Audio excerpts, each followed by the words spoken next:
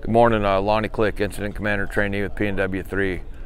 Um, you know, fire activity continued to increase uh, in the last 24 hours. Uh, we have more fire down on the Black Creek Road, primary containment line. Uh, crews continue to, you know, bring it down and, and help it along as we, as we come to the west and to the north. Um, you know, it's going really well um, in that area. That was uh, was our strategy to get it down there to that road and, and uh, and uh, you know continue to, to hold it and bring it around um, to the north side um, into the Salmon Creek area.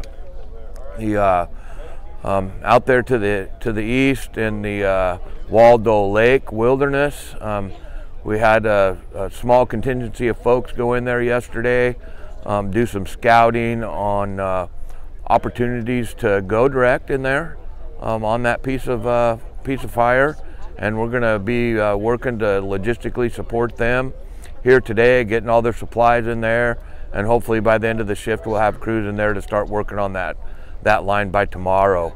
Um, there is a uh, um, we're working on a, uh, a new closure area, um, so that'll be coming out. Um, the the closure of the forest on the on the west side of the lake will go down to the shoreline, so they're going to start putting some signs up, and it'll be soft but we're working on uh, all the all the uh, legal ins and outs of that closure and making that change, um, so we can so we can uh, safely do the operation in there with firefighters. Be a lot of increased activity up there uh, around the lake with with uh, fire folks uh, today and into the future.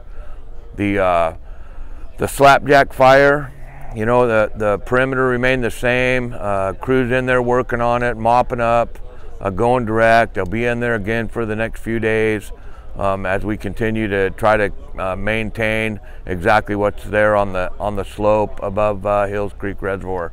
So you know, there's a lot, lot of smoke being seen from town, um, but just rest assured that the folks are doing a good job, and and uh, you know the the fires uh, remain the same size. Uh, tomorrow night we will have a virtual public meeting on Facebook at 1900. So if you have time to join that, there'll be a great update and information sharing uh, tomorrow night, uh, Tuesday. So thanks, have a great day, and we'll see you tomorrow.